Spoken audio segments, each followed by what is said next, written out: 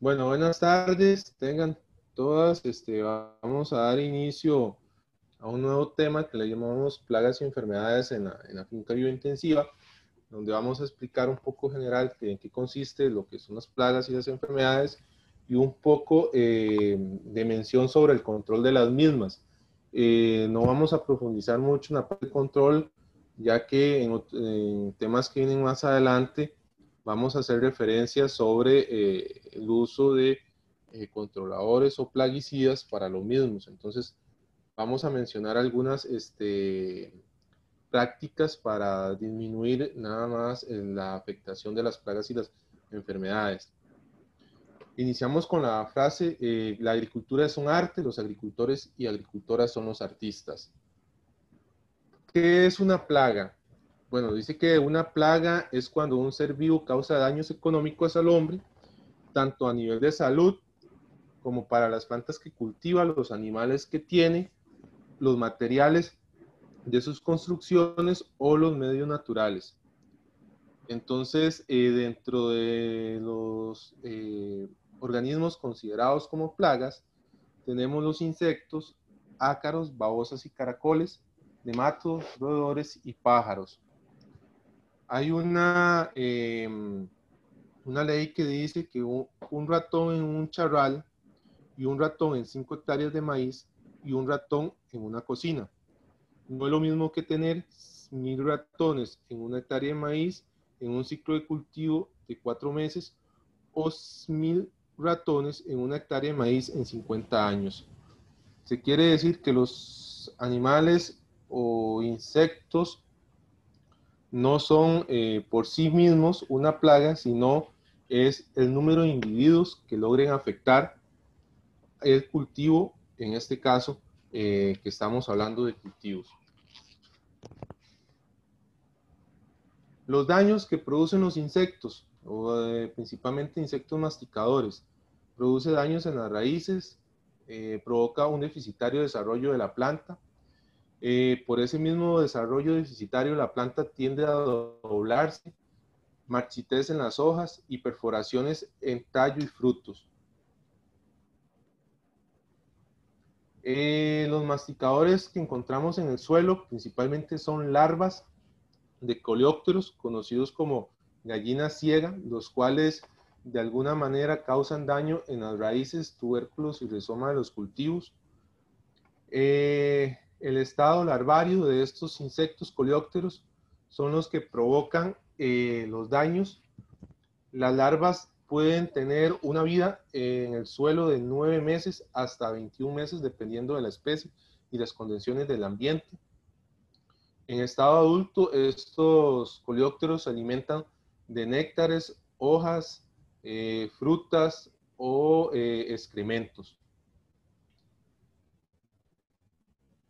Algunos ejemplos de insectos masticadores que se pueden encontrar en el suelo en estado larvario, la filóloga, que es este, la, una de las plagas o el insecto que más abunda en estas, en estas zonas eh, tropicales y es el que mayor daños ocasiona.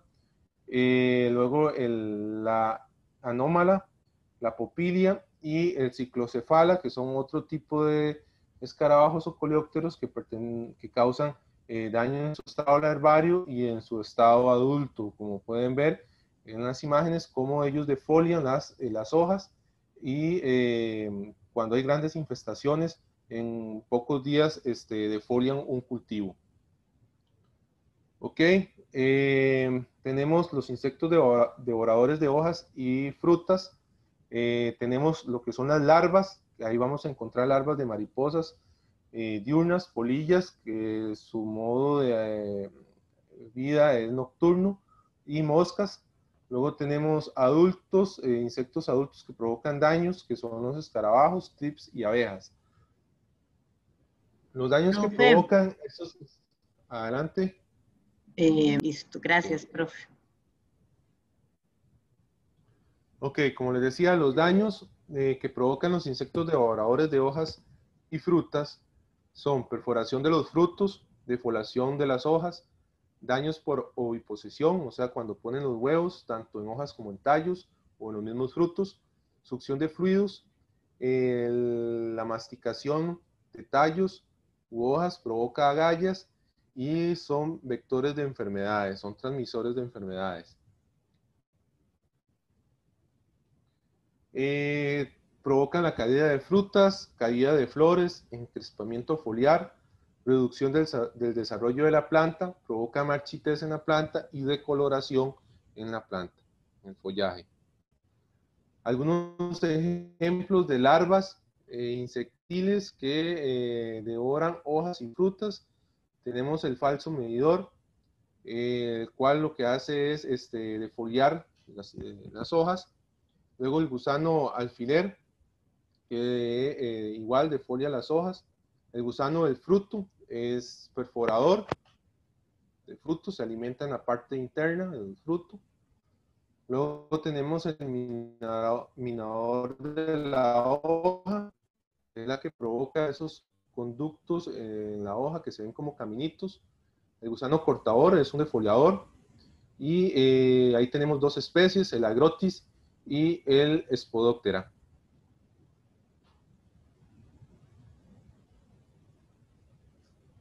Luego tenemos eh, la mosca del chile, el cual lo que hace es opositar en el cáliz del fruto del caso del chile y eh, los huevos eh, eclosionan produciéndose unas larvas que se van alimentando en la parte interna del fruto, dejándolo, provocando que el fruto caiga, no se logra desarrollar.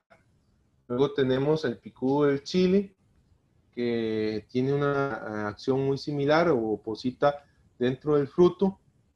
Y luego tenemos los gusanos perforadores que eh, ellos, eh, por lo general, los huevos son puestos en las hojas, pero cuando ya están en, estado larvario, cuando sale la larva, busca eh, los frutos para perforarlos o los tallos tiernos. Luego tenemos las vaquitas. las vaquitas lo que hacen es principalmente daño foliar, comerse las hojas eh, luego tenemos la langosta migratoria, que es una defoliadora muy voraz, y las popas que defolian las plantas.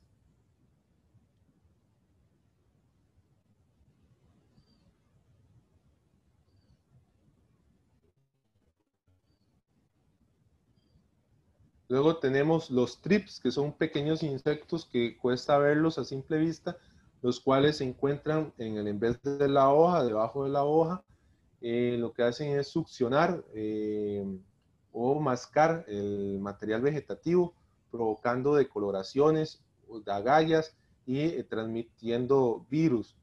Luego tenemos la mosca blanca, Bemesia tabasi, que es una de las principales plagas insectiles a nivel hortícola. Esta es un insecto muy diminuto, el cual sus primeras, digamos, en sus infestaciones, cuando no son muy grandes, las vamos a encontrar debajo de las hojas, pero cuando ya la infestación es demasiado grande, este, sale por el resto de la planta, la encontramos sobre las hojas y en los tallos tiernos.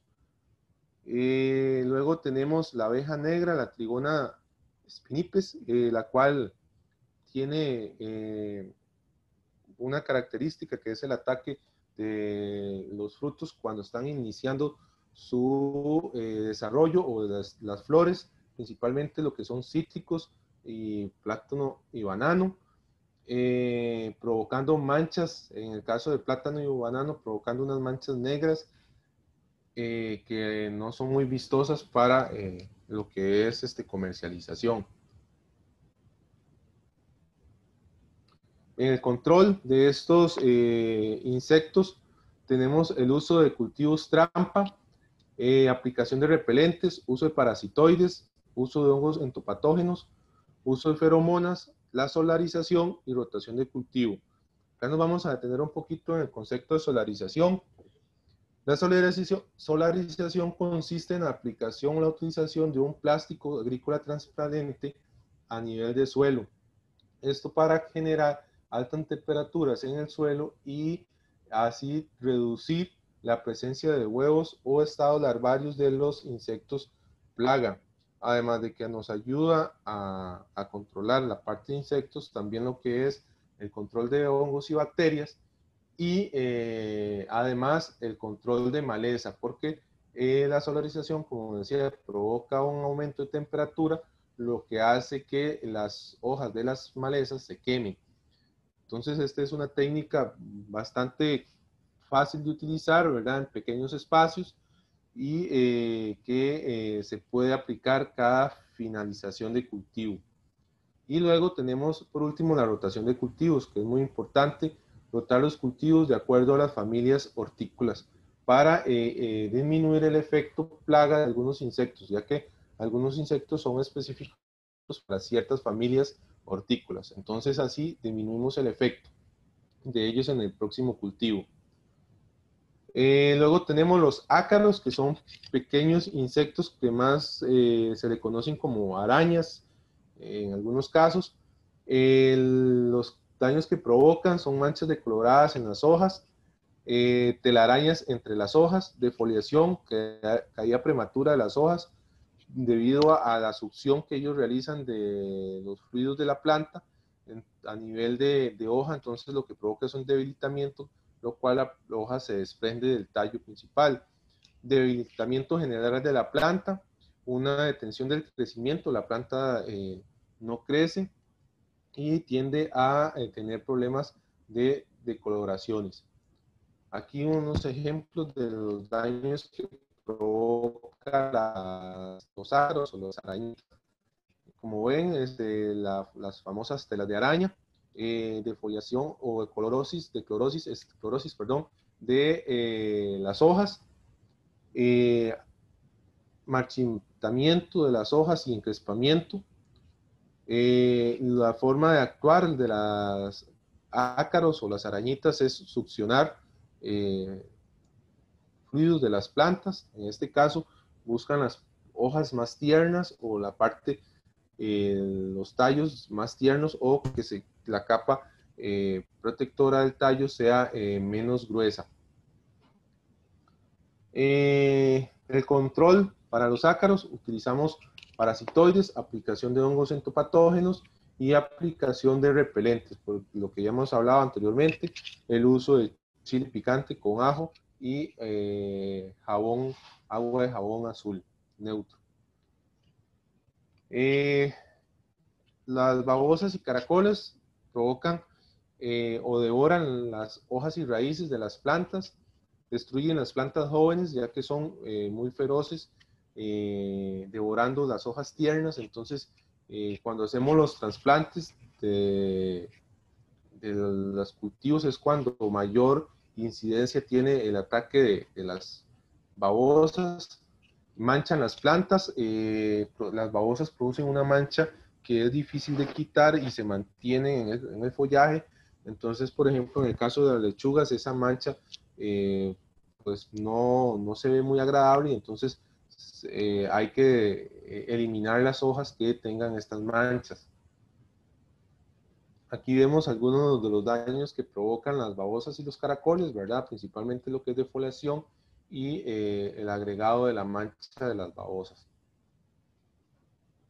El control, eh, tenemos uso de las plantas repelentes alrededor de los cultivos, uso de cal o ceniza alrededor de eh, los cultivos como una, podemos utilizarlo una barrera eh, en los bordes de las, si usted, por ejemplo, de las eras, alrededor de las eras colocamos la sal o la ceniza, o, y la sal se la podemos aplicar directamente también al, al insecto. Luego tenemos el uso de la cerveza y yogur usando trampitas. Agarramos eh, vasos, eh, colocamos un, poco de cerveza o yogur y lo colocamos a nivel de suelo. Principalmente esto para que eh, caiga más fácil la babosa o el caracol, ya que el olor del que emana la cerveza o el yogur los atrae mucho. los nematos es otro tipo de insectos, los cuales se encuentran debajo de del suelo, están en el suelo, provocan agallas en las raíces, lesiones necróticas, que quiere decir si son lesiones oscuras que van a provocar eh, luego la, la muerte o el, debilitamiento de la planta, proliferación de raíces secundarias, la planta como una forma de eh, protección crea eh, o emana raíces secundarias en grandes cantidades, pobre crecimiento radicular, fluorosis y un débil desarrollo de la planta. Acá algunos ejemplos de eh, los daños que provocan los nematodos, ¿verdad? Las, las agallas, crecimiento eh, acelerado de raíces secundarias, eh, debilitamiento y clorosis de las plantas. Y por último vemos el, eh, insecto nematodo, que en este caso hay que verlo con un microscopio para ah, poder distinguir su forma. Es como un tipo de lombriz, pero muy pequeñito. El control para nematodos, la utilización de la solarización, como anteriormente les comenté, que consistía Luego tenemos el control biológico utilizando hongos entopatógenos, biofumigación, eh, utilizamos em, insecticidas a base de hombre grande, chilipicante, eh, para que entre en la parte eh, profunda del suelo. Además tenemos el uso de plantas resistentes al ataque de nematos. Luego tenemos el barbecho, o que es una forma de descanso en las áreas de cultivo, o bien la rotación con cultivos no hospederos a los nematos. Tenemos los roedores, principalmente sus eh, ratas y tallusas. Lo que hacen es eh, dañar tallos y frutos. Eh, lo que hacen es morderlos, ¿verdad? Eh, eh, haciendo que el fruto no sea utilizable o el tallo lo que hace es que eh, corta la, llega a un estado de que corta totalmente la planta. ¿Cómo controlar los roedores? Bueno, aplicando cebos, para, tanto para taltusas como para ratas. uso, por ejemplo, en el caso de las ratas, hacer uso controlado de los gatos, ¿verdad? Para eh, poder combatirlos. En el caso de las taltuzas, utilizar, ya eso lo habíamos hablado en las, las otras clases anteriores, utilizar, por ejemplo, el uso de eh, la higuerilla como cultivo barrera. También podemos este, utilizar eh, las excretas de animales, las colocamos dentro de las cuevas de, los, eh, de las taltuzas, lo cual el, el, olor que se va generando no les, no les gusta. Eh, nosotros colocamos las excretas, tratamos de que se profundicen, que entren bastante dentro de la eh, cueva de la taltuza y posteriormente las sellamos para que se produzca. Recuerden que las excretas producen, generan fermentación y esa fermentación libera un, gases. Esos gases no les gusta eh, a las eh, taltuzas. También podemos, eh, en lugares donde haya disponibilidad de agua, por ejemplo una naciente o un rechuelo, es canalizar las aguas hacia las cuevas de las taltuzas y dejarlas correr esa agua por al menos 24 horas para que ellas este, salgan del lugar. En algunas ocasiones mueren ahogadas. Los pájaros eh, es otra plaga importante en, las áreas de cultivo. La defolación, principalmente aquellos pájaros, eh, aquellas aves como las chachalacas, em, los eh, comechayotes que comen tanto el fruto como las hojas del chayote tierno, dañan a, los frutos, se comen las semillas cuando nosotros este, hacemos las siembras, principalmente lo que es maíz, y los pájaros son vectores de enfermedades, son transmisores de enfermedades. El control es, bueno, la utilización de ruidos fuertes, eh, poco conocidos para las aves, utilizar espantapájaros, eh, utilizar malla antipájaros y la utilización de espejos. También se utiliza eh, la implementación de pájaros controladores, por ejemplo, lo que son búhos, lechuzas, gavilanes, tipo sinuelos, como lo vemos en la imagen. Eh, también este, podemos este, utilizar eh, hay gente que lo aplica, ¿verdad? Ya eso es algo que queda en cada quien.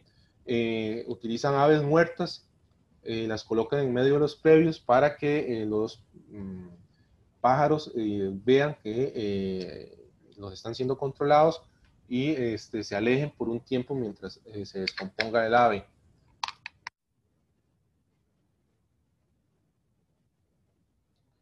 Luego tenemos las enfermedades de las plantas. ¿Qué es una enfermedad? Es la respuesta de las células o tejidos vegetales a los microorganismos patógenos o factores ambientales que determinan un cambio adverso en la forma, función o integridad de la planta y pueden conducir a una incapacidad parcial o a la muerte de la planta o de sus partes. Entonces, ¿quién provoca las enfermedades? En este caso tenemos varios agentes causales.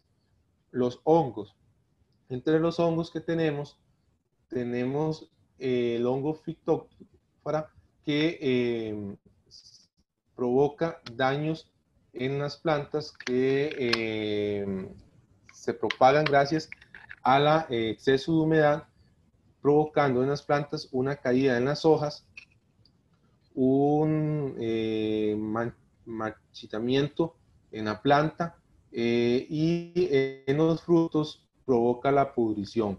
Se va a ver principalmente en la formación de manchas color café oscuro, eh, bastante uniformes.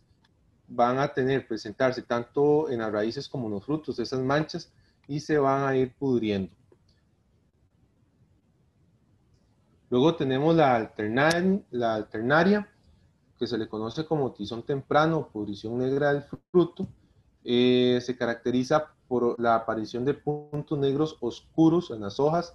Son puntos eh, que, se van haciendo eh, con el tiempo, se van rompiendo, porque ya esa parte vegetativa está muerta, entonces se rompe.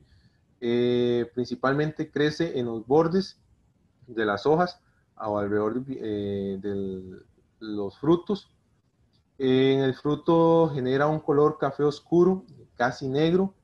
Eh, la epidermis del fruto se hunde y se ya cuando el fruto está muy infectado, tiende a arrugarse el fruto totalmente. Luego tenemos otro hongo muy eh, característico en los, que se presenta en, en, los cultivos de hortalizas, que es el fusario este hongo aparece en cualquier fase de crecimiento de la planta, eh, provoca uh, una marchitez en las plantas, inicia principalmente en las hojas más viejas, las cuales van a, tornando un color amarillo y se van alargando. El principal síntoma ¿verdad? es la presencia de la marchitez y ataca tanto eh, el sistema radicular, ¿verdad? ahí son de inicio, el sistema radicular y eh, se propaga al tallo y hojas. Luego tenemos el, bo, el moho blanco, el cual eh, los tejidos de las plantas se tornan un color oscuro y aparece una cubierta color blanco que es el micelio del hongo de una forma de propagación. Eh, se recomienda eliminar los rastrojos y no incorporarlos para evitar la propagación del mismo que se mantenga en el suelo y cuando generamos un nuevo cultivo, el hongo está presente y luego vuelve a infectar. Luego teníamos el tizón o mancha de anillos que es causado por el micofarela. Eh, causa unas lesiones oscuras y hundidas en el caso de los frutos eh, las lesiones se observan zonas más oscuras en formas de anillos concéntricos y eh, hay una decoloración alrededor de dichos anillos. Luego tenemos la piedra negra causada por el Fomaligan. Eh, estas manifestaciones son lesiones hundidas de forma ovalada, de color café en la base del tallo, que es la parte más susceptible donde ataca dicho hongo. En el follaje se observan lesiones circulares de color pardo y principalmente eh, se va generando eh, de la parte externa de la hoja hacia la parte interna. Luego tenemos las rollas. Que son manchas pequeñas y redondas de color café rojizo o anaranjadas, dependiendo del tipo de, de hongo que esté infectando la planta. Eh, se presenta también, eh, esas rollas no solamente se presentan a nivel foliar, sino a nivel de vainas, en el caso de las leguminosas. Luego tenemos la mancha angular, eh, principalmente que ataca a um, las leguminosas, a los, el cual sus síntomas es, presenta manchas de color café oscuro eh, delimitadas eh, por las nervaduras, o sea, a, la par de los nervios de la hoja, es donde ellas se van a colocar o va a formar esta mancha angular. Eh, son manchas de color café y principalmente se da por el exceso de humedad. La actragnosis o viruela principalmente ataca a nivel de las solanáceas en el estado de fructificación las, los frutos tienden a generar unas manchas eh, hundidas, color eh, oscuro, café. Por lo general van eh, dos o tres manchas juntas para luego ir hundiéndose y el fruto se va rajando. En las hojas va presentando manchas poco uniformes y que empiezan de la parte externa de la hoja hacia adentro. Luego tenemos la telaraña o quema provocada por el hongo Rhizotonia, que provoca eh, pequeñas manchas color gris, verdoso o café rojizo en, a nivel de tallo y a nivel foliar. A nivel de tubérculos o lo que ocasiona es una mancha abultada y eh, hacia la parte interna del tubérculo va generando un tejido necrótico parecido a de una formación de una telaraña. Eh, el control de las enfermedades fungosas eh, destaca la rotación de los cultivos, la solarización del suelo, aplicación de calor, eh, esto utilizando bombas con gas eh, y con una flama se quema el suelo, eliminación de plantas afectadas y control del riego. El uso del control de las plantas afectadas aquí es, vamos a utilizar una bolsa, eh, vamos a introducir la planta que está afectada eh, dentro de la bolsa y la vamos a arrancar, no la vamos a sacudir la planta si la llevamos, a un lugar eh, alejado del área de cultivo y eh, ojalá hacer un, hueco y este, ir echando esas plantas afectadas. Es importante que cuando hacemos ese tipo de práctica apliquemos eh, cal o ceniza para reducir la propagación del hongo en ese lugar. El control del riego es muy importante. El exceso de humedad es lo que provoca que eh, los, en este caso los hongos se multipliquen. También es importante eh, el método de riego, ¿verdad? Si utilizamos un riego por aspersión, eh, la, generación de gotas hace que el hongo vaya corriendo por, la planta y por el suelo. El riego que se recomienda es el riego por goteo, eh, si hacemos, por ejemplo, si los cultivos están al aire libre, eh, la lluvia, el salpique de la lluvia hace que el hongo pase del suelo a la planta. Entonces hay que tener ese, ese cuidado también, ¿verdad? Luego tenemos las enfermedades bacterianas. En este caso tenemos las ectomonas que eh, lo que producen son manchas amarillas de forma U en el follaje. Estas manchas amarillas se forman a la parte externa de la hoja hacia adentro en forma de V. Eh, cuando ya la bacteria ha hecho daños en la área foliar, las hojas caen eh, y eh, se siente suave las hojas al tocarlas. Eso es una diferencia de las enfermedades bacterianas respecto a los hongos el, pudre de, las bacterias es un pudre más acuoso que el, de las, el de los hongos. Luego tenemos la erwinia. la erwinia produce pudriciones suaves en el tallo, mm, mal olor. También produce pudriciones en las flores y en los frutos. En las hojas más viejas se tornan amarillas y se van marchitando.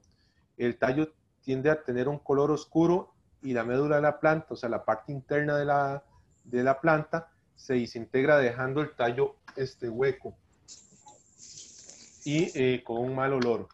Luego tenemos la malla o marchitez bacteriana causada por las pseudomonas. Eh, estas inician, en, eh, el ataque de esta bacteria inicia en la fase de crecimiento de la planta. Eh, el tallo produce una gran cantidad de raíces adventicias. Una vez que las primeras plantas presentan síntomas de esta enfermedad, la, prácticamente el área de cultivo está infectado, entonces es muy difícil de controlar. Luego tenemos el pringue bacteriano, causados por las pseudomonas. En el follaje se observan manchas regulares de color oscuro rodeadas por un halo amarillento. Eh, se siente como una protuberancia al tocarlas. Los frutos presentan manchas de color café oscuro de forma irregular. Eh, en los frutos verdes se observa un halo verde oscuro y se siente eh, también una, una, forma irregular donde se forma la mancha. Puede abultarse y eh, cuando la infectación es muy grande, hay una decoloración principalmente, tornándose amarillo de tanto del follaje como del fruto.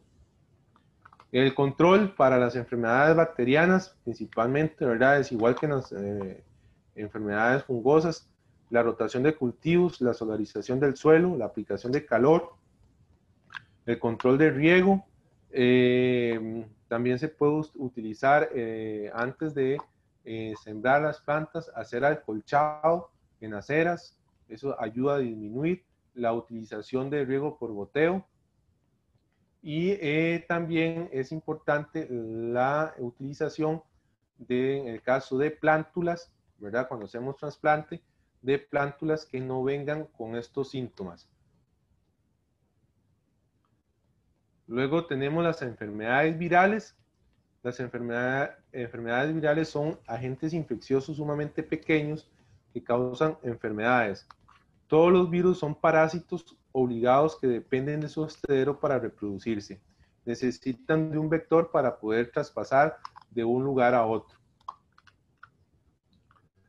En los medios de propagación, los virus se transmiten de forma mecánica, ah, es decir, el contacto que nosotros tenemos con una planta infectada, con una sana, eh, esto a través del uso de las herramientas o máquinas. Eh, por ejemplo, cuando nosotros hacemos poda, cuando hacemos desija, cuando hacemos eh, amarrado de, por ejemplo, en el caso de tomate, pepino. transmisión por vectores de insectos, tal como la mosca blanca, los tips, ácaros, entre otros. Y la transmisión a través de semillas. Los síntomas, eh, las hojas presentan eh, un crecimiento distorsionado, aparición de verrugas sobre hojas o tallos, amarillamiento uniforme en las hojas de la planta, hay manchas foliares simétricas, eh, líneas amarillas rectas o formando patrones sobre la hoja, hay una deformación de las hojas en cuchara o copa, enanismo y pobre desarrollo en las plantas, manchas circulares sobre los frutos, eh, formas distorsionadas de los frutos. Aquí tenemos eh, algunos ejemplos de enfermedades virales, ¿verdad? El mosaico en hoja de chile, formación simétrica de, las manchas, de coloraciones.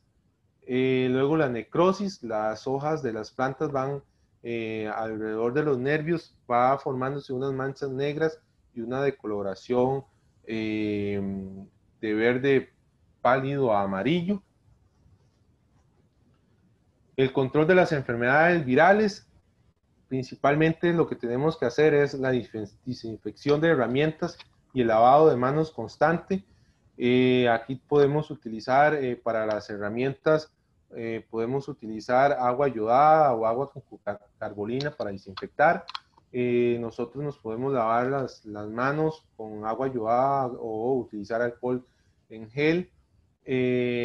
También este, es importante eh, el uso de guantes, que es mucho más fácil el proceso de infección y los productos no nos van a hacer daño a nosotros en, en las manos. Utilizar semilla de calidad libre de patógenos y, y, virus, en este caso, ¿verdad?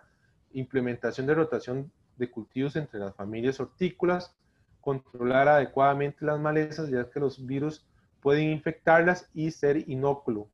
Y eh, las malezas no presentan los síntomas, simplemente ahí está eh, el virus eh, esperando un vector para que sea transmitido a otra planta que sí va a generar síntomas.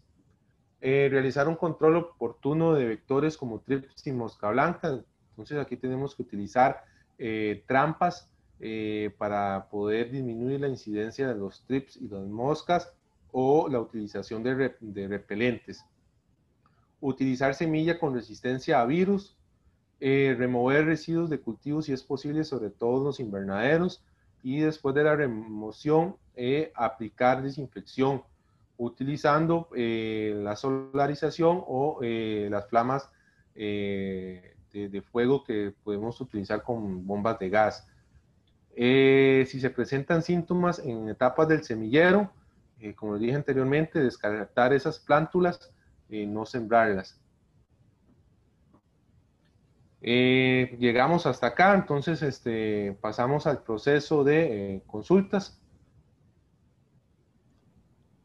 Ok, profe, por ahí teníamos a Nati que nos hacía la consulta si, si puede explicar de nuevo el proceso de solarización.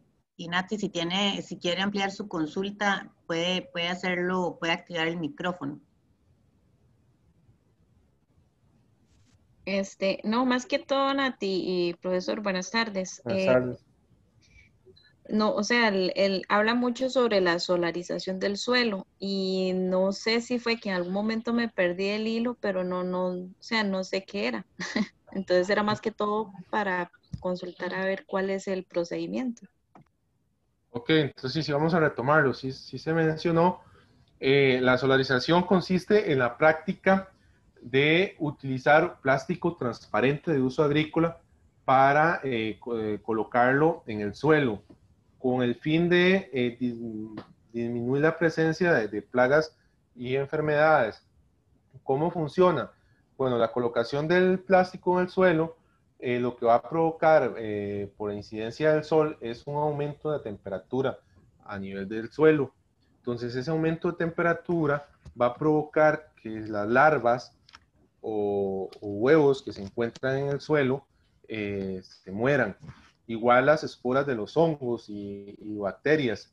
la incidencia de altas temperaturas este, hace que estos patógenos eh, no puedan sobrevivir. Además de que hacemos ese control sobre esos patógenos, también hacemos control sobre las eh, malas hierbas, eh, ya que, el, como les dije, el aumento de la temperatura hace que las hojas y el tallo se quemen. Es como si le hubiéramos aplicado un herbicida. Entonces, este, más o menos eso es lo que consiste el proceso de solarización. también se puede utilizar plástico negro nada más que eh, el periodo de, tenerlo en el suelo eh, es, mucho más, más, más amplio. En el caso del uso del, suelo, del, perdón, del plástico transparente, más o menos lo podemos utilizar eh, de 3 a 6 días, ¿verdad? Y lo, lo, quitamos. En el caso del plástico negro puede tardar hasta 15 días dependiendo, digamos, si lo que vamos a hacer es controlar malezas, eh, entonces sí va a tardar un poquito más. Otra cosa importante que hay que tener en consideración con el uso del plástico en el proceso de solarización es que no queden o se hagan saquitos o que se almacene agua cuando llueve, ya que el almacenamiento del agua eh, no, va, no va a provocar el calentamiento, ya que el agua lo que va a hacer es una barrera eh, entre los rayos del sol y el suelo entonces se calienta el agua, pero el plástico y el suelo no se calientan. Entonces debemos tener este, esa consideración, que no nos queden esos eh, valles ahí que, para que se almacene el agua Entonces, este, si hay, esa, pues, se, evidencia el almacenamiento de agua, entonces procedemos a hacer un, un orificio pequeñito para que el agua escurra y este, se pueda cumplir con el objetivo de que el plástico caliente y a la vez caliente el suelo. Entonces no sé si le quedó claro la, eh, la parte del proceso de solarización. Sí, sí, muchas gracias, ya, ya, ahora sí, la capté. gracias. Ah, excelente, con gusto. Profe, otra consulta es que si el, este proceso de solarización es exclusivo de este material plástico, sea negro o transparente, o se puede usar, digamos, eh, sacos, eh, sarán o restos de cosecha para hacer esa misma eh, acción. Bueno, en el caso de, del sarán y el sac, de los sacos no los recomiendo porque pueden ser fuentes eh, de, propagación de enfermedades, eh, porque son por el tipo de, estructura, logra refugiarse de alguna manera algún patógeno, entonces no, no es recomendable. Se puede utilizar latas de zinc, sí se pueden utilizar latas de zinc, eh, el uso de, de material vegetativo, eh, principalmente yo lo que recomiendo a la gente es que eh, utilice ya digamos el pasto seco, ¿verdad? Y que antes de colocarlo en el suelo realice un proceso de inoculación con microorganismos benéficos. ¿Por qué? Porque Si nosotros aplicamos eh, el pasto seco, eh, primero que todo es una barrera, no va, no va a calentar, porque dependiendo la cantidad de material o la, el grosor de la capa, eh, no va a dejar que el calor entre hasta el suelo, entonces es una barrera. Pero si podemos, digamos, esa técnica, utilizar pasto seco, más que todo es como para mantener humedad pero siempre y cuando, y, perdón, y controlar eh, malezas, pero siempre y cuando hagamos primero una inoculación con microorganismos benéficos. Ok, muchas gracias. Y otra consulta que nos hacen es que si puede ampliar sobre el control de hongos o bacterias por medio de la aplicación de calor. Ok, la aplicación de calor eh, bueno, acá no es muy utilizado en el país, es muy poca gente, he visto muy pocos casos, es eh, utilización de, gas propano o gas metano, ¿verdad? Con una bomba, eh, como igual como que si fuéramos a hacer este, una aplicación de un abono foliar. Es una bomba, nada más que se va a utilizar una, una varilla que va a permitir generar una flama, una llama, eh, y lo que vamos a hacer es que cuando eh, se presentan un cultivo, hay presencia de los síntomas eh, de una enfermedad fungosa o bacteriana, pasamos esas flamas en, en, las plantas infectadas y a nivel de suelo. O sea, vamos, vamos quemando el suelo, por decirlo así, vamos pasando la, la llama sobre el suelo, esto para que se mueran los los insectos y los hongos patógenos. Esto va a generar eh, eh, un aumento de temperatura por muy poco tiempo en, el suelo y eh, básicamente no hay generación de, digamos, aquí no se busca quemar como, como hacer una quema normal, no es simplemente es pasar la llama, pasar uno la llama de forma rápida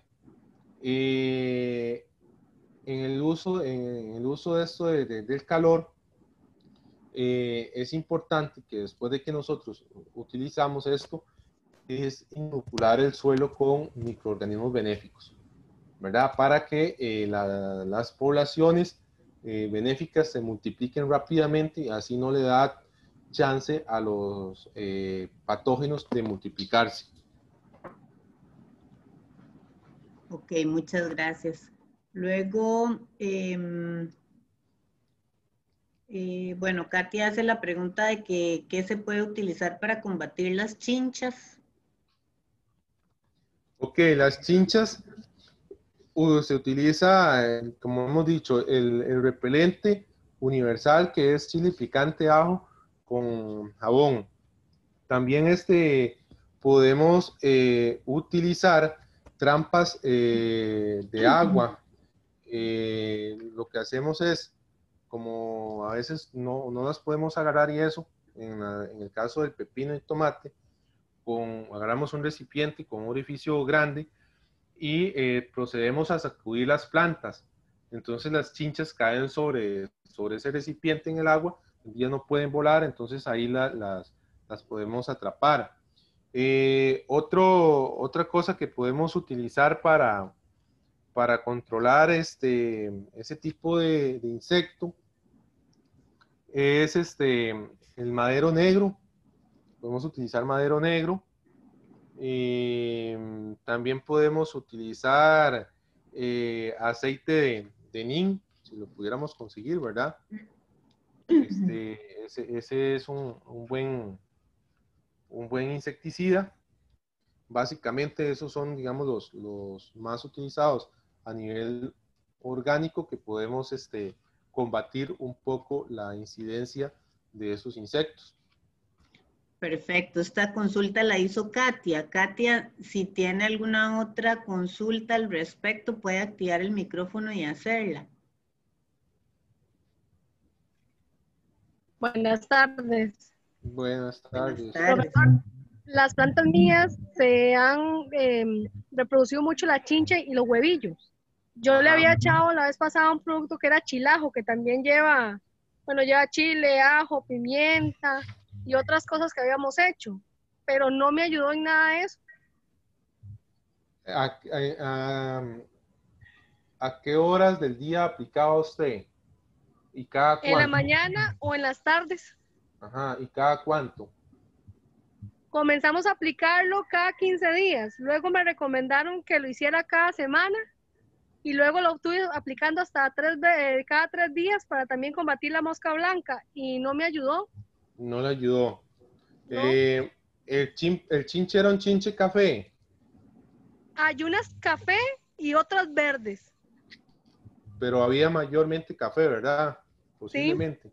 Y también en, una, en una matita de, de mm, había un montón como de huevitos que me dice mi esposo que seguro son los, los huevillos de la chinche.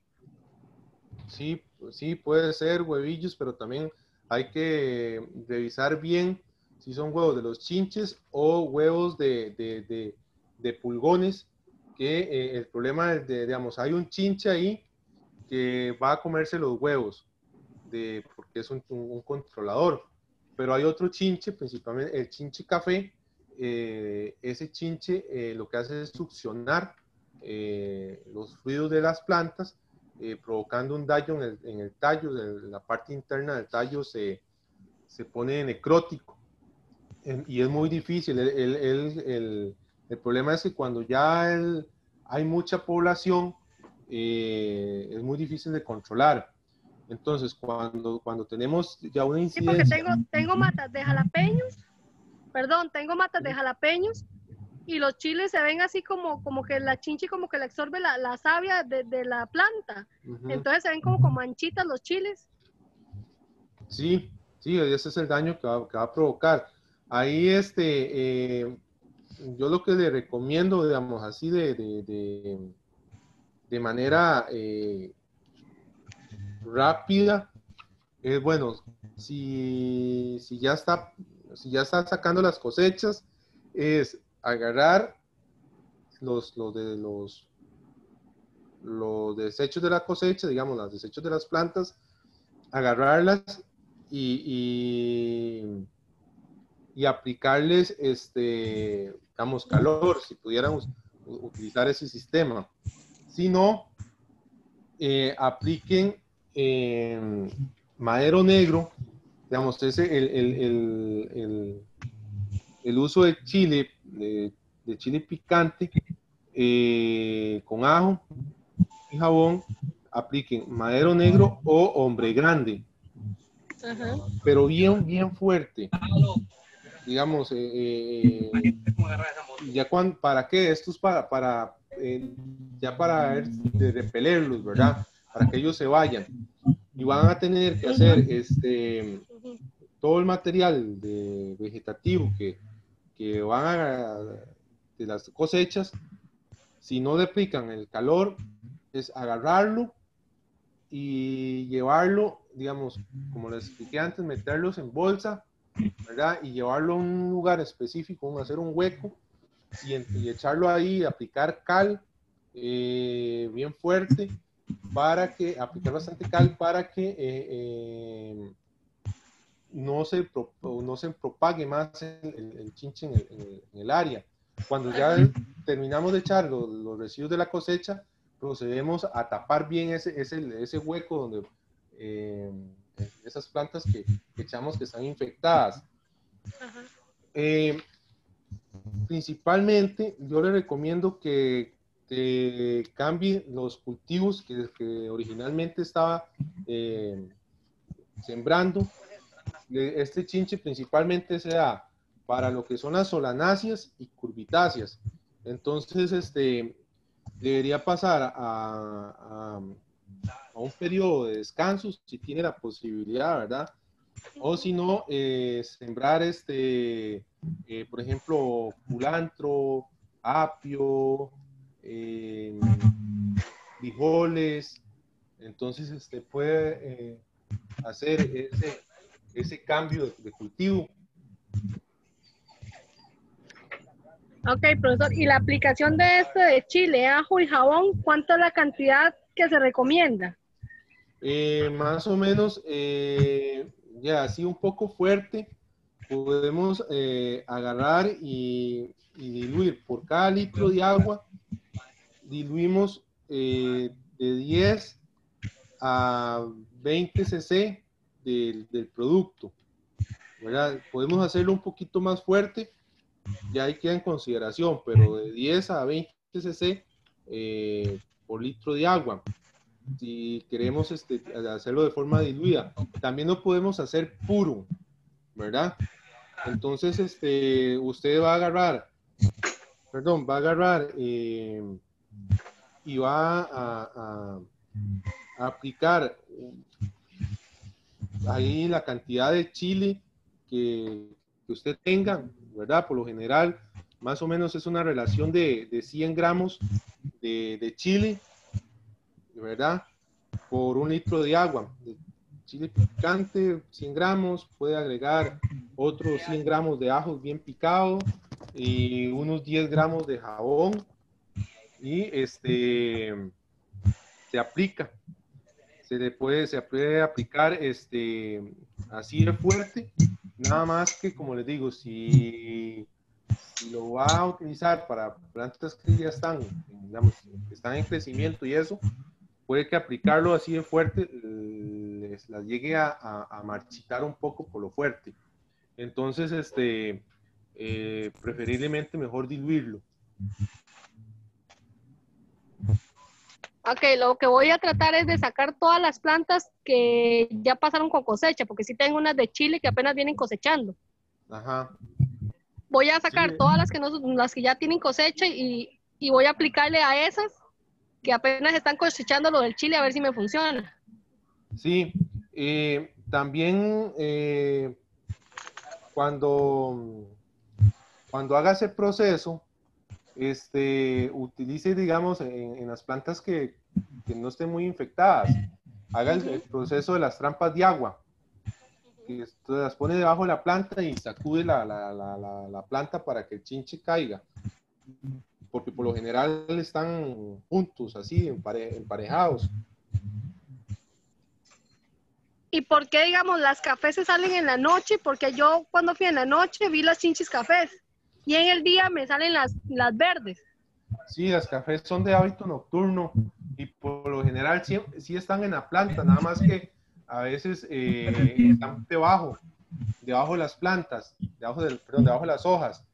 Eso, y eh, si alrededor de, de, del área de cultivo hay eh, un barbecho, digamos, hay un montazal, ellas se, se esconden ahí.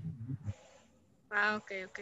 Entonces ese también hay que tener eh, el área un poco, un poco limpia para que no, eh, no se multipliquen ellos. Eh, también es importante. la, chinche a la aromática también, porque yo tengo sembrada albahaca adentro del vivero y veo que también le llegan a, las aromáticas. Ah, eso no, no, no lo, no lo había visto yo, no lo tenía referido. No, no sabía que... Sí, porque yo sé... Pueda yo fui a tomar fotos y estaban en, las matas de albahaca. Y, y, se le ve algún daño, es que pueden ser también que ellas eh, em, utilicen la, la, la, planta como un medio para, pues, digamos, para descansar o para luego pasar a, otro, a otra planta. Pero sí habría que ver si están provocando algún daño. Ellas, las del vaca sí tienen como huequitos como comidas de algo, pero no creo que sea la chinchi la que la está comiendo. Está interesante ese caso, sí, porque yo, digamos, no, no, no tenía referido, digamos, el chinche en, en, aromáticas. Sí, yo cuando fui a tomarle fotos me encontré las aromáticas, en el chile y en unas de berenjena. Ajá, sí, en, la, berenjena sí, sí podría mm, dar, sí, sí se da, porque es una plaga pero en aromática sí está, me, me, causa curiosidad de ver ese, porque digamos, lo, lo, que he leído no, no hay referencia, digamos, en, en eso. Eh, sí uno, digamos, sabe que hay plantas que sirven simplemente de, de, paso para que la, el insecto llegó y, y se posó una planta para descansar, pero no produce ningún daño pues entonces sí habría que observar más a profundidad este, si hay una, una acción propia del insecto hacia la planta. Ok. Está bien, profesor, muchas gracias. Con gusto. Gracias a los dos. Ok, aquí tenemos una compañera que está conectada como Huawei P9 que pregunta si la miel de purga sirve para matar la mosca blanca. Mm, no, la, miel de purga no. La miel de purga se utiliza como trampa. Bueno, cuando caen en, la trampa sí se mueren las, pero digamos que si uno hace una aplicación de de miel de pulga no, digamos, para trampear sí, eh, sí sirve, digamos, pero para hacer aplicación directa, lo que hace uno es ahuyentarlas. Ok, perfecto. Luego dicen por aquí que algunas señoras cuentan que le ponen agua caliente a las camas para el control de plagas. ¿Eso sirve?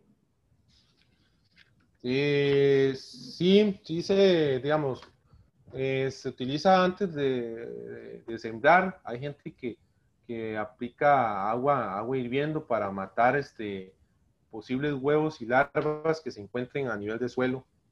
Nada más que es, es un trabajo costoso, digamos, en cuanto a tiempo y los cuidados, ¿verdad? Porque eh, corre el peligro de uno de quemarse, ¿verdad? Pero sí, sí se puede utilizar, es una forma de, de controlar la, la, incidencia de huevos y larvas a nivel de, de suelo en las camas. Eh, también la utilizan, eh, por ejemplo, cuando hacen la desinfección de las camas, de los bordes de las camas, por si acaso ahí hay algunos insectos o algo, este, lo utilizan para esa parte también, en lo que es el material. Perfecto. Luego consultan que qué se recomienda para controlar cochinillas o escamas de cochinilla. Ok. Eh, uno es, bueno, eh, están los, los, los, insectos depredadores, ¿verdad? Ellos este, atacan y se lo comen. Eh, uno que se puede utilizar para, para disminuir el efecto de la cochinilla este, es, por ejemplo, el uso de tabaco con jabón y agua. Eh, pueden utilizar este, también la salvia eh, o el aceite de nin. Eh, otra, otro que pueden utilizar es el uso de la gavilana eh, bien utilizar bastante hoja de gavilana para que sea bastante amargo. Em, igual, eh, lo que hay que hacer es, bueno, evitar también el exceso de humedad en el lugar, ¿verdad? Eh, el, exceso de humedad hace que, estos insectos este, se, se, propaguen. Eh, también la poda, ¿verdad? raliar, quitar hojas y eso para que haya más presencia de luz porque otra cosa que favorece la incidencia de estos insectos es este, la, que hay, la entrada de luz es muy escasa, entonces este, hace que se multipliquen más, más rápido, ¿verdad? Entonces, básicamente eso. Eh, si, si la parte afectada no es la parte que ocupamos a nivel productivo, ¿verdad? Por ejemplo, en algún tallo secundario u hojas, eh, podarlos y retirar, ¿verdad? En, bolsas este, ese material infectado. Excelente, profe, muchas gracias. Nos consultan Vilma y Roxana que cómo se prepara el hombre grande y cómo se prepara el madero negro para aplicarlo. Ok, en el caso del hombre grande, agarrar 50 gramos, digamos, más o menos, 50 gramos de cáscara, digamos, de la corteza del árbol, y, se hierve más o menos por 30 minutos, eh, se hierve agua, perdón, por 30 minutos y se deja reposando 24 eh, horas. Eso en el caso del hombre grande. Eh, el hervirlo eh, es para que suelte más el, el, amargo, ¿verdad? Eh, luego el hombre grande, perdón, el, madero negro, lo que podemos este, es agarrar, macerar bien las hojas, ¿verdad? Las hojas más tiernas preferiblemente, porque esas son las que, van a soltar más, más líquido a, a la hora de macerarlo, ¿verdad? Entonces lo maceramos bien y eh, lo dejamos reposar en agua por 24 horas y eh, aplicamos.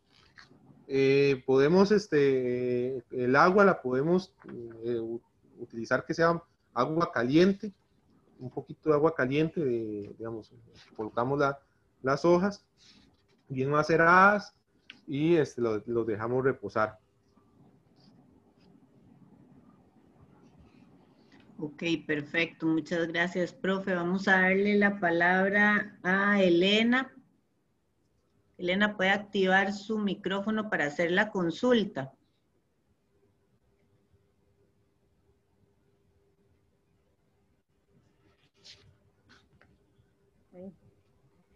Buenas tardes, profe. Buenas tardes. Eh, la pregunta mía es, ¿la estrella es una para los insectos? Y vieras que no le, no le copié, no le, no le capté ahí, pues se cortó. Que si la espía es buena para los insectos. Eh, ¿Cómo es que se llama la planta? Para ¿Cómo se llama la planta que está preguntando? Estría. Estría. La stevia, stevia. Ah, la stevia. Y bueno, yo de la stevia lo que tengo referido que es medicinal, no, no la tengo como, como planta controladora de insectos. es que, nosotros lo vemos y los insectos van. Ajá. Y no, les gusta, no les gusta. Yo la tengo como referida como planta medicinal y barrera. La utiliza como barrera porque es hospedera de algunos insectos. No sé si... si Nosotros hacemos, bueno, una pañera lo hacía, lo hago agua y piga la plata y entonces y no les gusta. Eh, bueno, con las hormigas Es algo nuevo, sí, porque sí, yo lo tenía nada más referido como eh, planta medicinal y como con barrera. Ya digamos que, eh, por ejemplo, un macerado de hojas o o eso no, para control de, insectos no lo tenía. Bueno, nosotros lo hemos probado y sí, nos ha funcionado. Ok, eso es, eso es importante. Si usted, eso es otra cosa también, ¿verdad? La, experimentación. Eh, a veces eh, uno debe de probar cosas tal vez que sean diferentes a lo habitual, ¿verdad? Y en este caso válido, ¿verdad? Si ustedes experimentaron, eh, mm, eh, desarrollaron una técnica, ¿verdad? Para, para poder extraer, digamos, los ingredientes eh, que hacen que los insectos se, se alejen y les ha servido, entonces es bueno seguir replicándolo, ¿verdad? Ok, muchas gracias. Más bien gracias a usted por ese nuevo, nuevo detalle, ¿verdad? De una planta este, con esas cualidades eh, de insecticida. Aquí tenemos, gracias Elena, aquí tenemos otra consulta. Eh, Ivette Soto, ¿tendrá ahí el, podrá activar su teléfono, Ivette, para que nos amplíe su pregunta?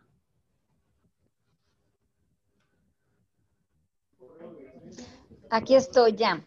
Este sí, eh, profe, es que tengo unos geranios, pero yo vi que las primeras hojitas que usted puso ahí, este, y así se me ven, es como que una, parte de ellas se secan. Igual, igual, este, em, tengo matas de chile que también que se le pintan todas las hojillas. Y yo quería saber, en los dos casos, ya que me dan la oportunidad acá, este, ¿qué hago con esos geranios? ¿Qué clase, si será un hongo? Lo que ella tiene, porque yo lo que hago es que quito todas las hojas y las desecho así, las, las meto en una bolsita plástica para, para desecharlas por completo, para que no siga, pero igualmente sigan apareciendo. Y si será un hongo qué puedo echarles para que, para que ya eso, ese hongo, lo que tenga, no se me, no, no se quite. Igual con las matitas de chile. Es chile dulce el que tengo y se, de un pronto a otro, yo no sé si será o tal vez que está mucha lluvia o a veces no sé qué será, profe, quería que usted me ayudara a ver este, en los dos casos si me puede ayudar. Ok, sí, voy, voy a pasar las, las, láminas y usted me indica eh, en cuál se parecen los, los, los síntomas que usted acaba de describir.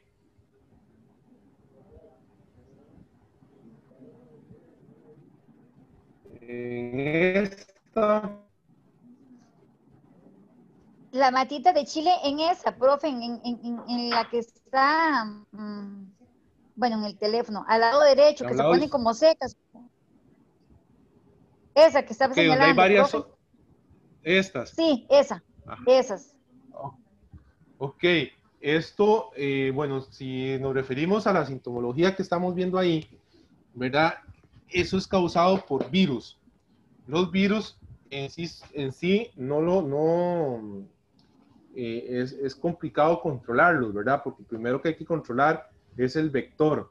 Entonces yo le pregunto a usted si a usted en esas plantas les ha visto debajo de las hojas o en otra parte de la planta algunos insectos. No, profe, vieras que no. La vez pasada lo que hice fue que quité todas las hojillas y las eché en una bolsa porque yo sabía que esto era lo que había que hacer para desecharlo, pero yo no le he visto como chillos. Bueno, eh, hay que, observar bien, ¿verdad? Recuerden que, la observación consta en ver toda la planta, a la parte de arriba de las hojas, la parte de abajo. Entonces, digamos, de acuerdo a esa sintomología, eso es una necrosis por un virus. El virus es transmitido por un insecto. Entonces hay que identificar ese insecto. También puede ser que eh, no sea en la parte aérea de la planta, sino que su causa está en el suelo, en las raíces. Puede ser eh, un, un, efecto de nematus, ¿verdad? Que vaya haciendo una necrosis en la planta eh, ¿Por qué? Porque hay una, eh, esa necrosis eh, puede verse también por una falta de nutrientes, también podría, hay una deficiencia, podría verse, ¿verdad? Pero hay que desechar todas las posibilidades para poder llegar a identificar realmente quién es el causante. Porque usted y profe, el producto, el chile también a veces se mancha, como que se pone malo Hay unos que, están, que crecen lo más lindos y otros que se ven como que empiezan a pintarse como negrito y negrito y ya después se malean, se ponen malos. Eh, eh, y yo digo que a veces será por lo mismo, le, no sé. El, fruto. Ajá. Ok, eh, también puede darse, sí, por, por, un virus. Es porque llegan, por ejemplo, puede ser que solamente llegó un insecto, chupó o masticó la, la, la, la piel del, del, fruto, ¿verdad? Y ahí le dejó el virus y se va eh, tornando eh, algunos síntomas, como por ejemplo manchas negras, o también se presenta abultamientos de, como, como, los famosos gabarros que le dan a las vacas y eso, se dan unos abultamientos, unas eh, pelotitas ahí. también es importante abrir el fruto a ver qué tiene, puede ser que adentro tenga larvas y esa parte, esos huequitos negros que se vean, eh, sea la necrosis por donde, una forma de, donde de manifestación de que por ahí entró la larva o, por donde opositó algún insecto para dejar los huevos dentro del, del, fruto, ¿verdad? Entonces habría que revisar la parte interna del fruto para verificar si hay larvas ahí. ¿Verdad? Eso es uno. Luego lo otro, eh, también digamos, las eh, manifestaciones de enfermedades virosis, es que hay una decoloración del fruto, ¿verdad? Principalmente cuando va llegando al estado de madurez. Eh, entonces la, la, coloración es, no es uniforme, presenta, digamos, colores más pálidos. Hay Ajá, y en donde se forman esos esas deformaciones de colores, el fruto tiende a arrugarse. Entonces, este, eso es eh, un síntoma de, un virus, ¿verdad? Entonces, este, eh, sí hay que tener eh, en consideración de que esos virus son transmisibles por insectos. Entonces, lo que hay que tener ahí es una medida preventiva con la aplicación de, de repelentes para que los insectos no incidan en, la planta, ¿verdad? Y, profe, ¿cómo repelentes? ¿Como qué? ¿Qué repelentes? Sí, como lo que hemos este, estado hablando, que son el chile picante, el chile picante, ajo, eso. Eh, utilizar trampas, ¿verdad? Para, para, algunos insectos que podemos capturarlos por medio de trampas. Entonces, este, ahí eh, podemos este, utilizarlo, ¿verdad? Eh, también puede, eh, eh, el madero negro. sí, este, por ejemplo, si es algo del suelo, a nivel del suelo, provocado por nematos, entonces podemos utilizar manzanilla, infusiones de manzanilla y aplicarlas alrededor de la planta. o bien, este, también la, siembra de la manzanilla en, las áreas de cultivo. También es, es una forma de, disminuir el efecto, en este caso, del nemato. Se me fue. No fue el profe. Ahí. No, no, ya. Eh, ya. No sé si quedó claro. Ok, profe. Ok, profe. Y entonces, este, también con los geranios, usted puso una hoja antes de esas, bueno, antes no, ¿cómo es? Bueno, una hoja como de geranio. Y yo digo, exactamente eso también tienen geranios, que se ve como que la mitad de la hoja como que se va arrugando y se va secando. yo creo que fue la esta, profe, esa. primera, esa, exacto, esa. Sí. ok, esto es una, digamos... la puedo, es lo mismo, lo puedo tratar con... Sí, sí, eh, sí puede tratar. Ah, bueno, aquí, digamos, en este caso es una enfermedad bacteriana, entonces ahí lo que hay que ver es la humedad en el suelo, ¿verdad? El, riego, cómo aplica usted el riego. Eh, puede ser que, digamos, eh, ya la bacteria está en el, en el sustrato donde tiene usted la planta, y entonces cuando usted aplica riego, si es un riego que provoca salpique, entonces, este, el agua que rebota pues, le cae a las hojas, eh, a las hojas más viejas, y se va a ir formando o va a ir presentando estos síntomas. Entonces, este, ahí el detalle es que hay que, curar, tratar el, el, sustrato. ahí lo, ideal es la aplicación de, de, hongos, por ejemplo, la aplicación de, de o así para, para curar este, un poco la, la, la parte de, de, la presencia de, esos, de, esos, de esas bacterias. Eh, cambiar la forma del riego, ¿verdad? Eh, no, no, hacer que el riego mm, que Sí, eh, que, por ejemplo, el, el, recipiente que utiliza para el riego, no sé cómo lo regará usted, pero que ojalá el riego sea que las gotas salgan así como tipo nube, ¿verdad? Para, que, para la parte de follaje y cuando le vamos a hacer aplicación al sustrato, eh, que no, eh, tratar de evitar de que no, no exista el salpique. Eh, sí, profe, pero no le entendí qué le puedo echar para matar eso en la, en la tierra o en el sustrato. Bueno, una, una sería lo ideal, ¿verdad? Sería cambiar este, el sustrato de, de las plantas. Okay. Eso sería una. Eh, luego, em, otro sería em, la aplicación de, hongos, hongos entopatógenos, eh, controladores de bacterias, em, que ayuda a, que eh, la propagación de esas bacterias no, no, no, se haga más, ¿verdad? No crezca más, no le siga incidiendo. Y al realizar una, eh, las, las, podas, cuando usted las realiza, eh, desinfectar el, el utensilio en el cual realiza usted la poda eh, y no dejar que las, las, las hojas lleguen a una maduración o a una vejez, o que se envejezcan mucho las hojas porque eso va a facilitar más que, que, que la bacteria se propague. Entonces, este, no sé si le, queda claro esa parte. Sí, sí, profe, muchísimas gracias. Le agradezco mucho, de verdad. Con gusto. Muchas gracias. Por ahí tenemos, Helen está conectada, que tiene una consulta de hojitas en cultivo de uva, para que nos amplíe su consulta. Helen.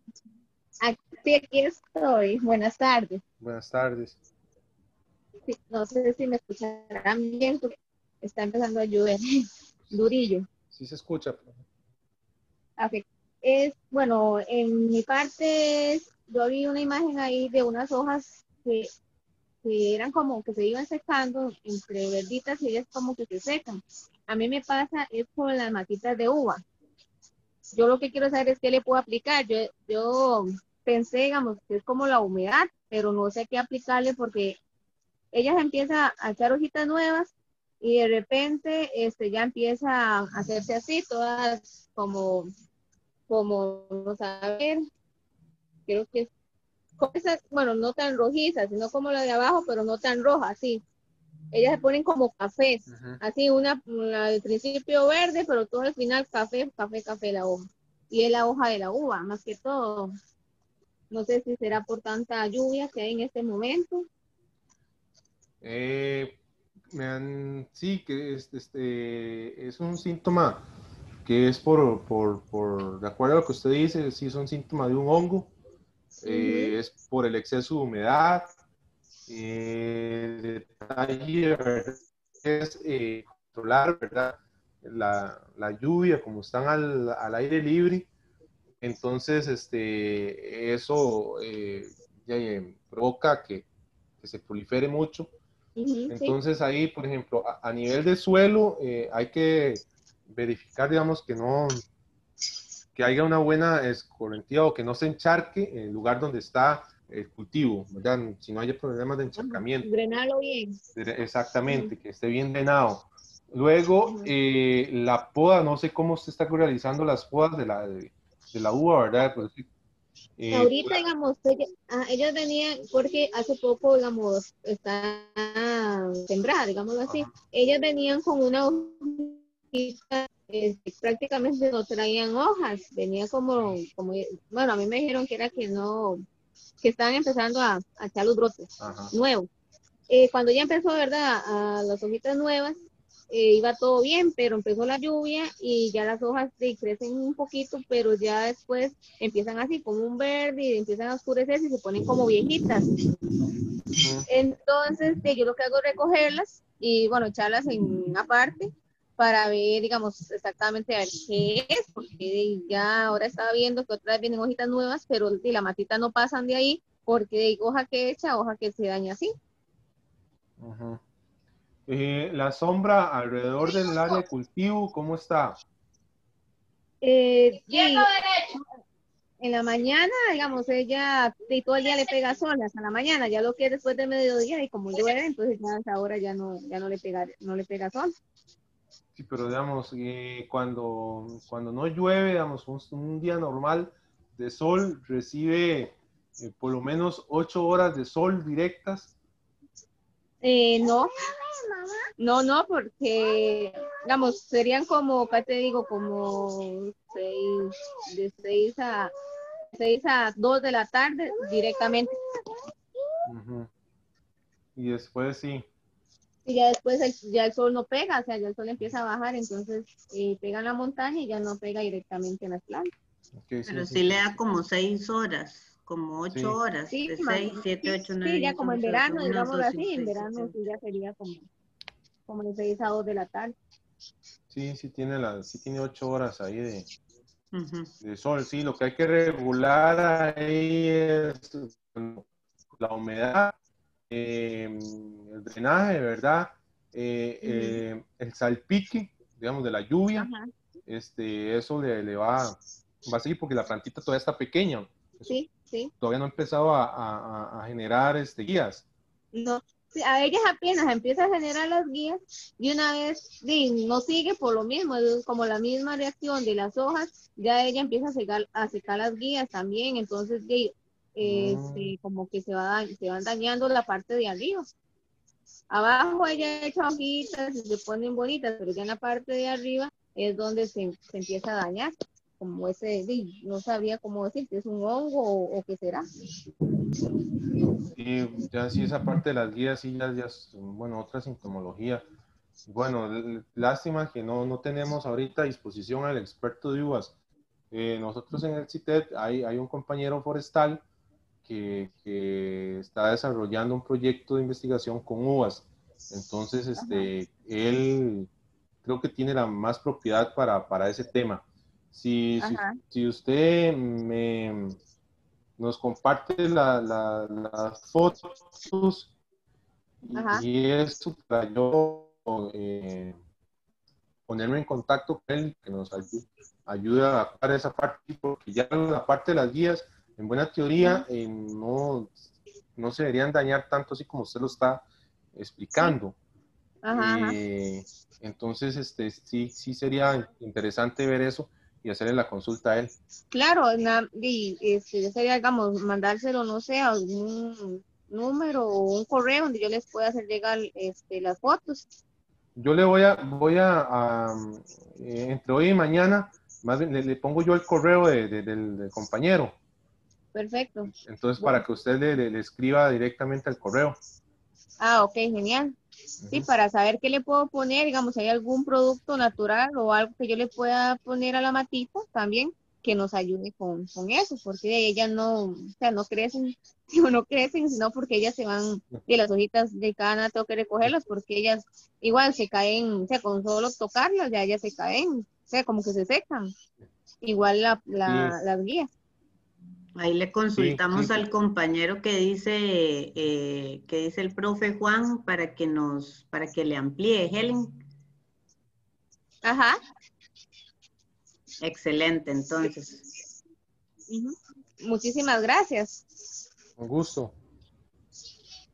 Ok, profe, Nancy, Marlene, tienen consultas de cómo eliminar la mosca blanca y las zompopas. Ok, la mosca blanca eh, es lo primero que tenemos que hacer es evitar de que llegue al, área de cultivo. Eh, ya por haber llegado, mm, digamos, con control eh, biológico, es la aplicación de, por ejemplo, de Baueria o Metarrhizo, Estos hongos no patógenos y eh, la aplicación de repelente, ¿verdad? la aplicación de ajo con chile, de madero negro, ayudamos a repeler, pero esto tiene que ser una labor muy de disciplina. Eh, hay que estar prácticamente aplicando cada tres, cuatro días para evitar la, la, presencia de la mosca. Eh, utilizar eh, trampas de plástico para, mm, con pega y feromona que ayude a, a, disminuir el efecto. La otra acción, ¿verdad? es que cuando ya tenemos eh, presencia de mosca blanca, es dejar de cultivar eh, esos cultivos que son susceptibles a la mosca blanca, sea tomate, chile, yuca, eh, todas las crupitáceas, y este, pasar a, otro cultivo en el cual sea más resistente al ataque para disminuir la presencia ir acortando o el, que el ciclo reproductivo se vaya disminuyendo para que entre menos este, individuos hayan, entonces este, ahí se va acortando la, la, presencia de ellos. Eh, básicamente, eso era el de mosca blanca, ¿verdad? Era la, mosca blanca y también consultan para eliminar las zompopas. Ok, las zompopas. Las zompopas, eh, uno, algo que es muy práctico, es eh, agarrar y hacer trocitos de cáscaras de naranja y colocarlos en el camino o cerquita, de, no dentro del hueco porque ellos lo van a sacar, sino cerca del hueco, en los caminos, para que ellos lo agarren y se lo lleven y lo introduzcan en el nido. Eh, la cáscara de, de, naranja, eh, cuando se va pudriendo, cuando se pudre, eh, produce, produce un, hongo que va a, combatir el, de, que se alimentan las, popas. También puede utilizar eh, la osorola de café, eh, se aplica directamente en el, en el, en el hueco eh, con, un poquito de agua, digamos, y se, y se echan en, el hueco. Eh, luego, eh, otra, otra cosa que se puede utilizar es el uso de la canavalia, que es un tipo de frijol. Nosotros lo sembramos como barrera. Ellas se van a alimentar de la canavalia y el, este, el, esta hoja produce una, una sustancia que es tóxica para el hongo. Entonces, este, va disminuyendo eh, la multiplicación de, eh, el, del hongo. Entonces, a ir perdiéndose el hongo en el nido, las eh, hormigas van a buscar otro lugar para hacer nido y así este, poder salvar el, el, el, ¿cómo se llama? Salvar el hongo para poder seguir alimentándose.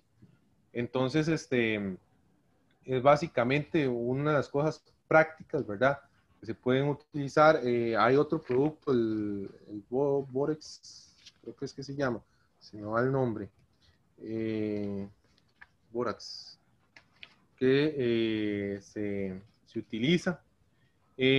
también se puede utilizar arroz precocido, ojalá impregnado con hongo de, con baueria o con metarrhizo Em, también este, sembrar eh, como cultivo barrera la citronela o el romero. Eh, también podemos echar eh, pan molido, podemos echar dentro del hueco o bien le, echamos levadura. Em, Básicamente ahí hay otros, vamos a ver, eh, también podemos inundar el, nido con agua. Ojalá eh, esa agua la podemos, eh, podemos utilizar agua con, con, cloro, ¿verdad? Podemos aplicar cloro para que, para que ayude a matar el hongo o agua con residuos de excretas de animales. Esos son un poquito manera de, de controlar este, el hongo de, que, comen las popas que es el que realmente es el que tenemos que combatir, porque la zompopa sí, eh, o la hormiga en sí, no, sí, son miles de hormigas. Entonces, este, es complicado. Eh, Pero lo que tenemos que controlar es el hongo en el cual se alimentan las, hormigas. Excelente. Excelente, vamos a ver. y, y, las, y las Perdón, adelante. Sí, puedo preguntar, es que no entendí qué es eso que él dijo que era carnavalia o algo así, no sé qué es. Ah, carnavalia, sí, en medio lo agarré, profe, disculpe que interrumpí. No, no, tranquila, tranquila. Sí, la canavalia es un tipo de frijol, es un frijol grande de color blanco. Eh, es una vaina que produce una vaina de, de 5 a 8 granos. Eh, es, un tipo de frijol, eh, es, eh, sirve como, como, mejorador de suelo, eh, como control barrera para, para, en este caso, las popas. entonces ellas se dedican a comerse las hojas y las hojas producen una, una, toxina que el hongo no, no le gusta y no le permite ir reproduciéndose. Además de que mm, el uso de la canavalia también ayuda a mejorar el suelo y a, y a, descontaminarlo. Entonces, pueden ser estrategias también de, no solamente para controlar las popas, sino que para otras eh, cosas que, tengamos que hacer en la, en la, huerta o en la finca biointensiva. Muchas gracias, profe, porque ustedes no se tienen la idea de la cantidad que tenemos o tengo. Bueno, es impresionante. Y uno acaba con algo y después empiezan en otro lado y es terrible.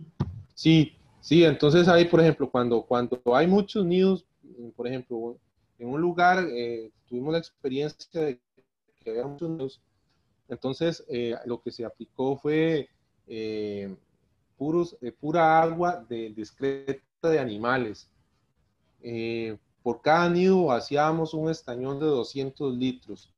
Lo, le revolvíamos, le echábamos cabraza, la cabraza iba revuelta con los orines y todo eso, entonces era bastante fuerte eh, le echábamos eh, la boñiga de, la lechería, eh, le echábamos cerdaza también, le, echábamos cerdaza y sí, tardamos más o menos como unos dos a tres meses para eliminar los nidos del área donde estábamos, este, donde se tenían los cultivos, ¿verdad? Pero se fueron para, para una otra propiedad de un vecino y entonces y se, en una montaña y ahí se metieron. Entonces ya los daños eran menores porque entonces este, eh, se colocó una barrera de canavalia y se colocó una barrera de eh, citronela.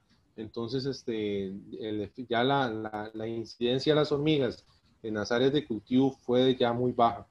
Entonces esa, esa práctica, por ejemplo, de, de, echar este residuos líquidos en los nidos nos favoreció bastante.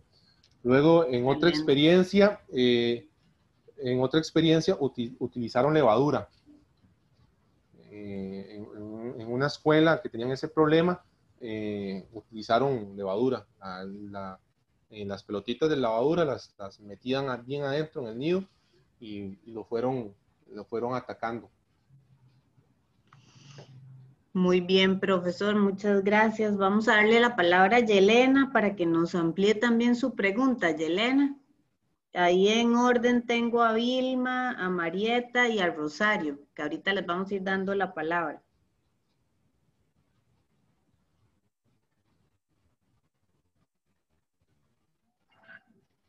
Yelena está por ahí para que active el micrófono.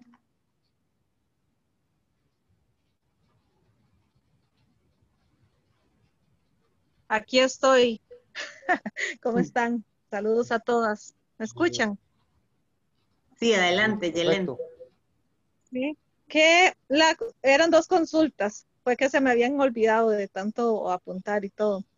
Eh, una de ellas era la técnica de solarizar.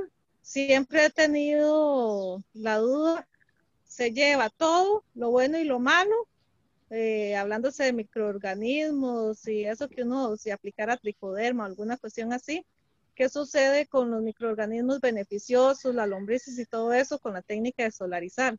Y ya si hablamos de echarle agua caliente o de aplicarle eh, calor, creo que es más invasivo. Esa era la primera. Y la segunda es eh, esta técnica que le dicen a uno, bueno, haga ahí un preparado como un tipo de apiche o un enchilajo, pero agréguele un cigarrillo. Tengo mis dudas. Eh, hay lugares agrícolas donde no permiten que los trabajadores entren con olor a cigarrillo o que fumen dentro de las plantaciones.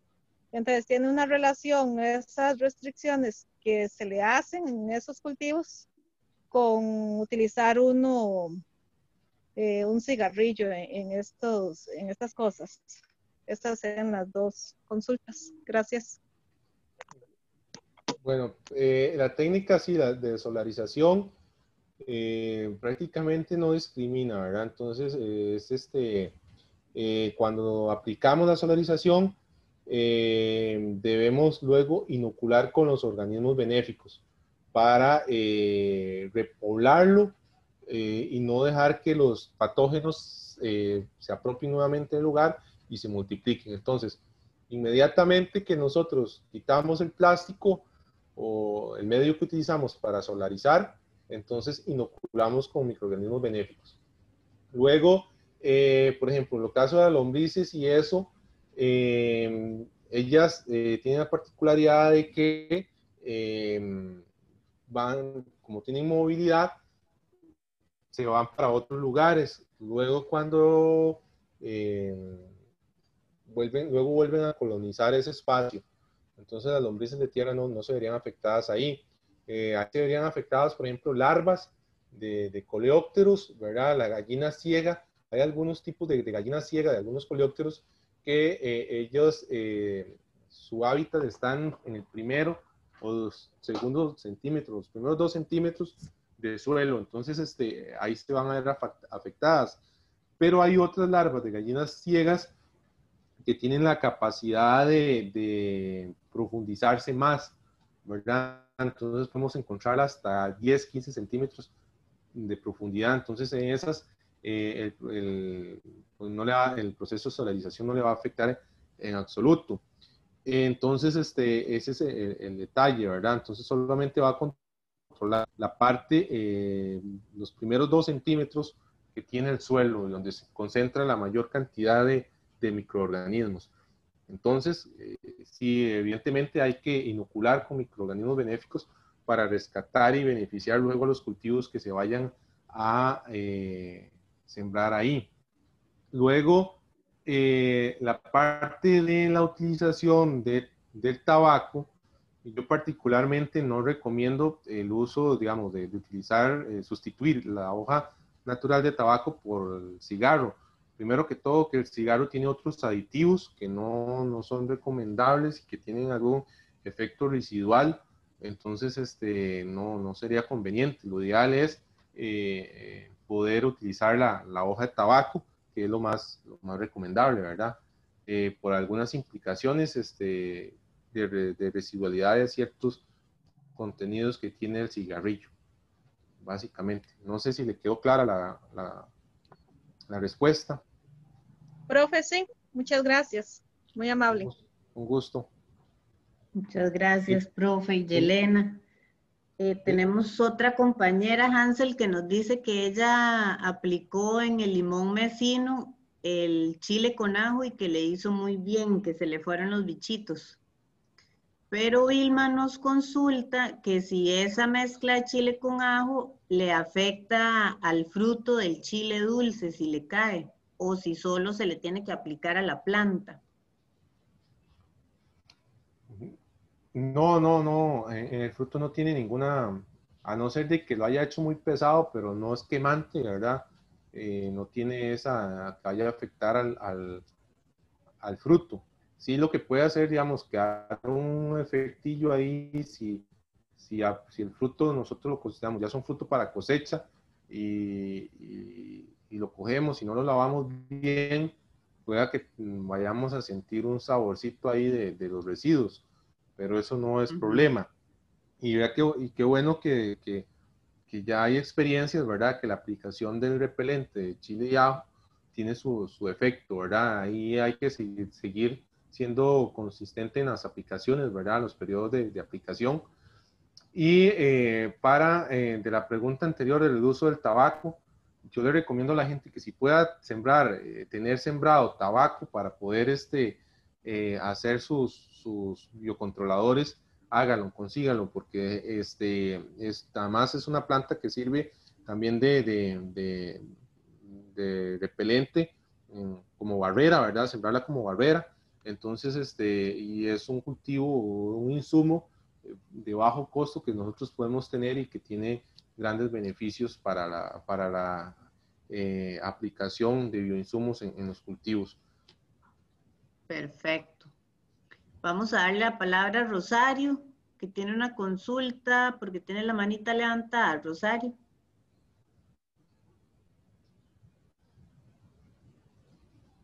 Puede activar su micrófono. Y gracias. Buenas tardes.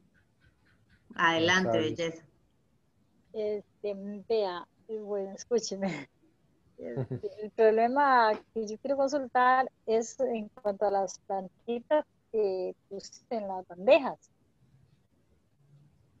¿Me escuchan?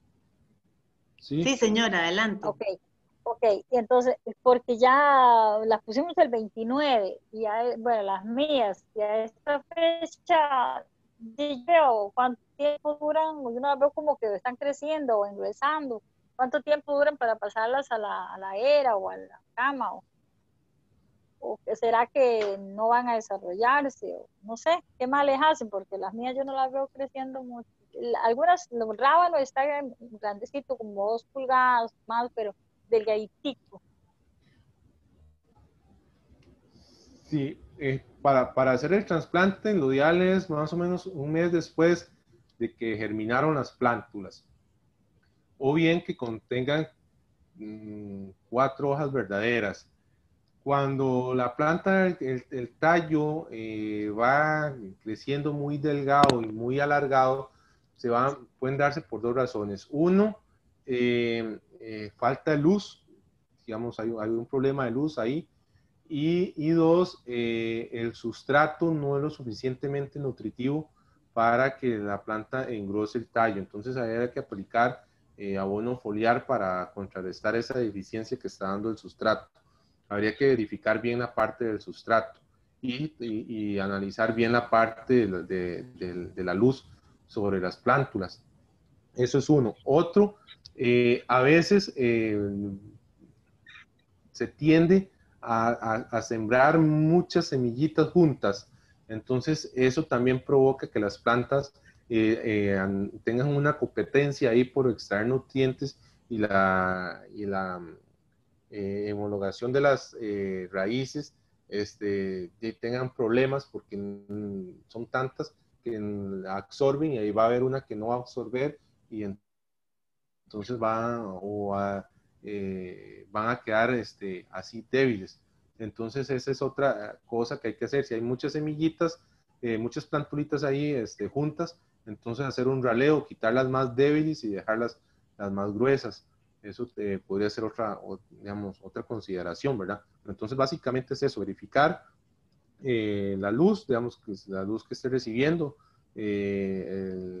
la calidad del sustrato, y eso último, si sembró muchas semillitas juntas, entonces realizar un raleo. Sí, profe, algunas sí hay varias, o están en, crecimiento, están iguales, nacieron muy irregular, unas como a los dos días estaban naciendo y, otras todavía están naciendo. Y pienso que Taurus metió unas más ondas, otras más, no sé, tal vez eso. Pero también yo siento como que yo nunca he sembrado así ovejas y que me quedó como muy suelto la tierra, muy suavecita y tal vez, no sé, yo por eso pregunto, porque es que yo nunca lo he hecho. Y yo esperaba verlas así tan lindas como las traigo cuando traigo del vivero. Entonces, y no, hay unas lechuguitas que hasta ahora están naciendo, casi un mes. Bueno, un mes no, el 29, a esta fecha, ¿cuánto llevamos? Ya. Sí, 15 días. Dos semanas, ajá. Sí, dos semanas. Y, y la luz que tienen es luz nada más, pero es bien bastante luz. Eh, no, sol no las he sacado el sol, sol, así al pleno sol, porque yo pienso que se queman pero están en plena claridad y aire y todo. yo les pongo spray con agua limpia para que tengan humedad. Y eso, pero no, si no las veo que como que al mes o un mes y un poquito no las puedo espantar, no me parece. No le digo que unas están naciendo, pero. Y son varias, ¿eh? hay, espinaca, hay lechuga, hay este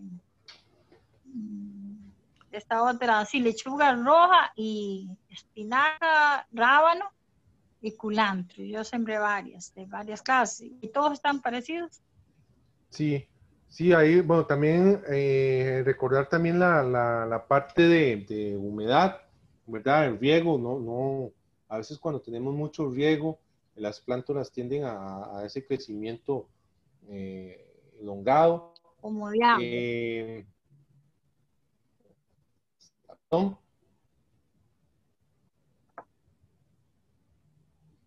les puedo poner como foliar, ¿qué les puedo poner? ¿Perdón? Eh, sí, este, de, foliar, eh, un, foliar de fórmula completa, digamos, si, van a, si va a comprar el foliar.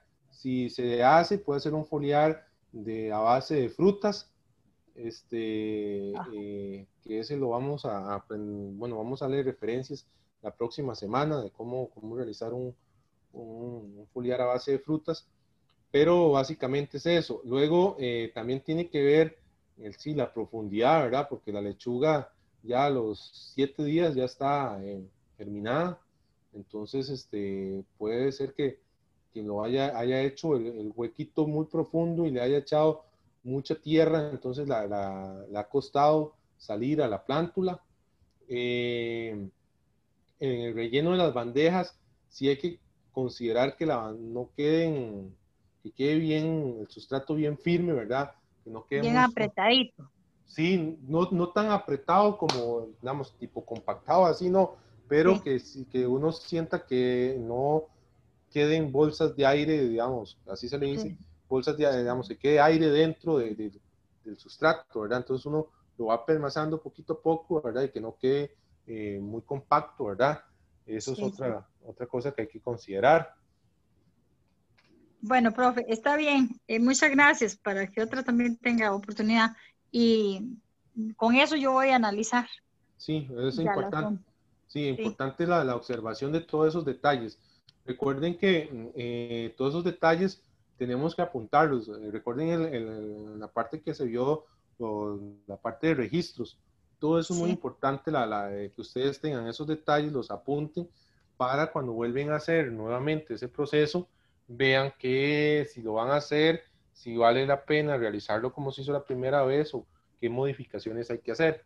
Entonces esa parte sí hay que tomarla en cuenta, ¿verdad? Tenerlos de todos esos apuntes bien ahí a la mano para cuando tengan que eh, repetirlo, ¿verdad? Consideren qué sí deben hacer y qué no y qué nuevas estrategias aplicar. Bueno, muchas gracias. Con gusto. Excelente, ya tenemos dos, dos consultas. Marieta nos dice que cómo, que si tienen algún consejo para eh, matar un comején que está en un árbol que no ha podido, que no ha podido matar, el papá dice. Y Hansel le recomienda que con la planta de zorrillo que se usa para comer, que se machuca y se mezcla con agua y se le pone sobre el nido me imagino que está muy alto el nido, o sobre los caminitos que va dejando el nido. Esa sería la consulta de Marieta respecto al comején. Ok, el comején. Este, vieras que la única forma del comején es ir y cortar el nido y quemarlo. Porque, porque si este, primero por las poblaciones eh, como ven, son muy, muy grandes. Eh, el comején no, no, no jala, no, no jala nada, él lo que hace es comer fibra de los árboles o la madera, entonces él no, él no jala. Eh, entonces sí, lo que hay que hacer es eh, arrancarlo y, quemarlo. esa es la, uno, bueno, en todos los casos que tengo referencia, esa es la práctica que se, que se hace. Hay, eh, mm, hay comegenes que están en la tierra, digamos que la, casa la hacen en la tierra y eso, eh, y si le aplican este, un insecticida, ¿verdad? Eh, y lo humedecen bastante, pero es por la particularidad porque están en el suelo, pero los que están en árboles y eso, hay que bajarlo para poderlo quemar. Ok. Y por ahí teníamos a Adeli con la manita levantada, pero ya no la veo que tenga la manita levantada. Adeli, ¿todavía tienes una consulta?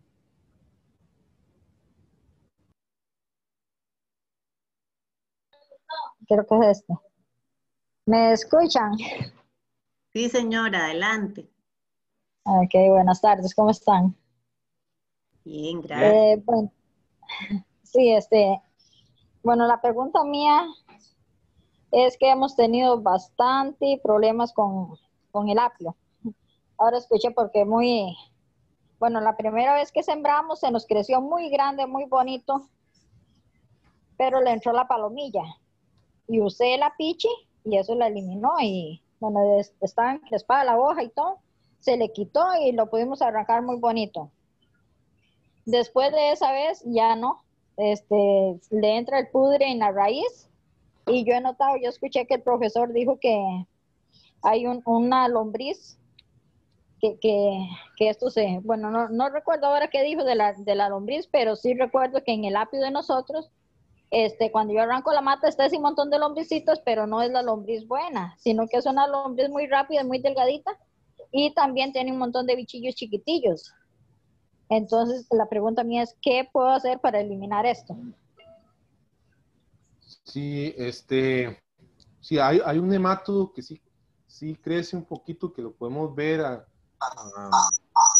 simple vista, pero no es tan, tan grande. Eh, y sí, infecta mucho el sistema radicular. Luego, ese otro bichito que dice usted es como un bichito, es como, a ver, es como, no es como un chinche, es que ahorita se me va el nombre. Él, él, tiene, es como una, la forma es como la de una vaquita eh, y es como, como negra. Eh, tiene, eh, algunas especies tienen como un triangulito en la cabeza de un color plateadito. No sé si por ahí va ese bichito que dice usted. No, este, bueno, me parece que sí he visto uno de esos, pero yo me enfoco en la raíz. Cuando arranco la matita, que es la mata se, se, pone triste, se le caen las hojas y yo lo, lo, llamaba un hongo. Pero al arrancarla, está el montón de esas lombricitas flaquitas y este, no sé si serán, este, digamos, insectos ya reventados del huevito porque son chiquititicos como, eh, que, no, no, tipo casi como de esas garrapatas pequeñitas, bien chiquitillas y bueno, nosotros le llamamos totolate, también son un, bichillo, un insecto ahí y entonces no sé si esto es de esa lombricita o qué es, pero no hemos podido eliminar ese tipo de hongo en el apio. Pero el daño que hace es que le pudre el centro. Sí, bueno, también eso yo creo que es la babosa. No sé, porque o sea, le agarra el centro que se pudre y Ajá, sí, ¿me escucha? Sí, señora. Sí, sí. Sí, entonces eso sí, también este se, pudre en el centro, pero yo sí en el centro he encontrado babosas que, le come la hojilla, porque también el centro de la hoja se pudre y todo eso va negro para arriba. Sí. Sí, con mal olor. Sí, eh, eh, los siembran, digamos, el sustrato, el sustrato que, digamos, se siembran en camas, ¿qué materia utilizan? Sí, correcto, en cama eh, sembramos. Ajá, ¿y qué sustrato? Digamos, le, le echan o solo tierra, es tierra. No, este, tierra con pollinaza. Pero pollinaza descompuesta. ¿tiene sí, sí, ya este, de tres a seis meses de ensacada. Sí, tendría que, tendría que mandarnos una foto de, esos insectos para tener un poquito más claridad. Eh, aquí lo que hay que hacer es, bueno, dejar de, cultivar el, apio. Si ya, es la segunda vez que lo que han sembrado ahí, dejar de cultivar apio, por lo menos por un periodo, eh, aplicar eh, baueria y metarrizo o, cualquier este, hongo patógeno, aplicarlo, pero antes de aplicarlo, bueno, existen varias formas, ¿verdad? Eso ya cada quien, eh, de acuerdo, también hay que ver el nivel de infestación que hay, ¿verdad? De estos insectos. Se hace una aplicación, ¿verdad? cuando se arranca el cultivo, eh, se hace una aplicación, se deja más o menos de unos 8 a 12 días. Se procede a remover el suelo, a darle vuelta, ¿verdad? Por aquello de que hayan huevos o larvas que estén enterradas y se vuelve a hacer la aplicación de esos microorganismos. Eh, cuando hicimos ya esa aplicación, volvemos a dejar unos 10, 12 días en, descanso. Eh, y este, procedemos a eh, encalar y sembrar, ¿verdad? En dado caso, si no, si queremos hacer algo más abrasivo, primero hacemos un proceso de solarización, ¿verdad? Eh, por unos seis días eh, aplicamos nuevamente, después de la solarización, aplicamos los microorganismos este, endopatógenos benéficos y repetimos lo que anteriormente le dije, lo dejamos unos 8 a 10 días a 12 días, movemos la tierra, volvemos a aplicar, mm, lo dejamos otra vez por ese lapso de tiempo y eh, sembramos y sembramos otro cultivo que no sea de la familia del apio, ni el culantro, ni el perejil, sino que podemos sembrar este vainica o podemos sembrar repollo o eh, alguna solanácea este, esto para, para ver si es un insecto específico, porque hay insectos, eh, plagas específicos para ciertos cultivos y este, hay otros que, no, ¿verdad? Entonces, eh, para verificar eso y es hacer este, la aplicación, digamos, inocular bien ese suelo con microorganismos para que eh, reducir esas poblaciones. Y sí sería interesante que, que nos este, comparta este, eh, las imágenes para ver qué, insecto es ahí, digamos, si son hematos, ahí con el compañero Aldo, que es el especialista, entonces este, ahí nos pueden ayudar, él nos puede ayudar un poquito más a identificar ese tipo de, plaga, ¿verdad? Y si es un insecto, entonces ahí lo, veremos a ver qué tipo de insecto es. Sí, bueno, ahorita no tenemos, ya estamos terminando con los siembros que teníamos este, dentro del el invernadero. Pues ahora lo que tenemos es el repollo y un poco de zanahoria, un poco de semilla culantro. Pero este sí luchamos bastante con el apio y no pudimos vencer. Hasta también sembramos vainica, pero la vainica se nos, eh, que como creo que se llama, se derrite, como que se aguarapa. Y ahí muy poco nos sirvió de esa vainica también. Sí, ahí hay fusario, fusario, mucha humedad. Hay mucha humedad ahí.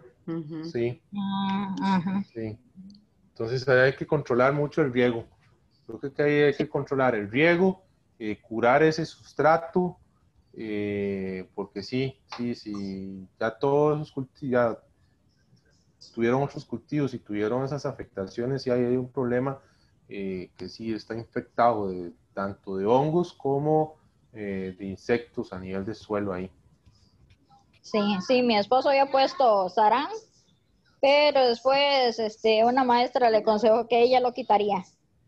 Habían unos árboles donde teníamos una, eh, ¿cómo se llama? Bueno, donde teníamos una mate chayote ahí que se extendía Entonces él vino y los cortó, es donde tenemos el repollo ahora, cortó las ramas para ver si le caía más, pegaba más sol al repollo.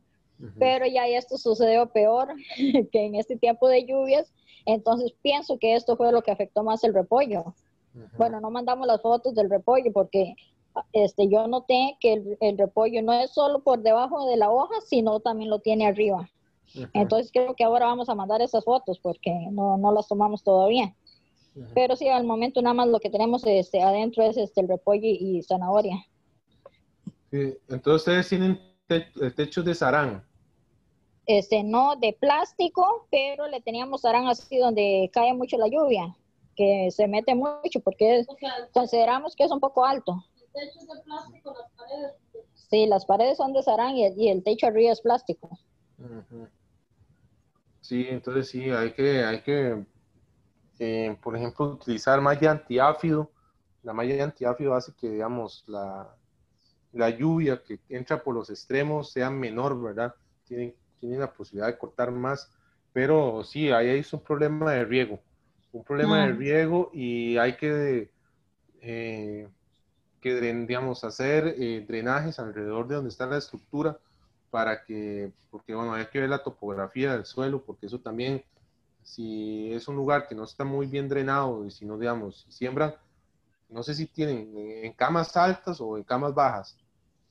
Camas, bueno, este, no es alto del suelo, sino que está en el suelo, pero sí es alta de que tal vez unos 40, 50 centímetros de alta del suelo arriba. Y es una tierra bien suelta, bastante. Bueno, los maestros que han llegado a verlo, se, uno puede meter la, la mano hasta la muñeca. Pero sí, esa, esa cama sí ha tenido que cuando este, nos dijo una vez, porque yo le pregunté esto mismo y me dijo que si la, la tierra se pone verde es mucha humedad. Ajá, correcto. y esa cama se ponía así, pero eso en el tiempo de la lluvia y ahora, bueno, yo había entendido que el repollo necesita mucha agua, pero seguro ya ahora es al extremo. Entonces está usando menos agua, pero el repollo no desarrolló igual. Sí, sí, es que hay que tener cuidado, digamos, hay cultivos que son muy demandantes en agua, pero la distribución de los riegos hay que saber hacer. Luego hay que tener en cuenta, digamos, eh, la, la, capacidad del sustrato de retener agua, ¿verdad? Porque esos sustratos que tienen eh, una capacidad de retener agua muy alta y si nosotros nos excedemos en la aplicación del riego, entonces lo que estamos es creando un exceso de humedad en el, en el suelo y entonces pues, van a tener ese problema de, la proliferación de, algas y, o ese verdoso que se ve ahí, ¿verdad? Este, entonces, este, hay que, manejar, ¿verdad? El riego, disminuirlo. Si el, si el riego se están aplicando ustedes, ¿verdad? El detalle es que, digamos, si el agua llovía aumenta más la, la cantidad de, de agua en, el área de cultivo porque entra por, por, los laterales de la estructura, entonces hay que ponerle una malla antiáfido que, reduzca eso o bien por cubrir toda la estructura con plástico, ¿verdad? Ya, ya eso va de acuerdo a, los, a las posibilidades que tengan ustedes. Ok, muchas gracias. Entonces eso sería. Con gusto. Ok, profe, si gusta vamos con la tarea para que nos quede aquí en la en el cierre de la, de la grabación. Perfecto. Entonces, la tarea eh, va, a ser, va a muy sencilla. Van eh, ya en, la clase anterior y, hoy hemos visto algunas eh, cosas en cuanto a control de, de insectos. Entonces, van a realizar trampas para el control de insectos a base de melaza y agua, cerveza o yogur, cualquiera de, ese, esas sustancias para atraer insectos, ¿verdad?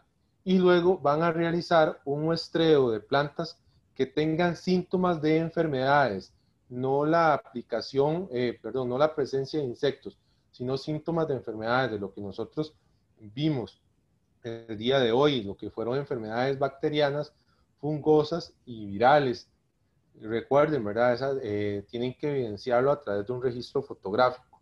Entonces, no sé si les queda claro lo, que, les corresponde hacer.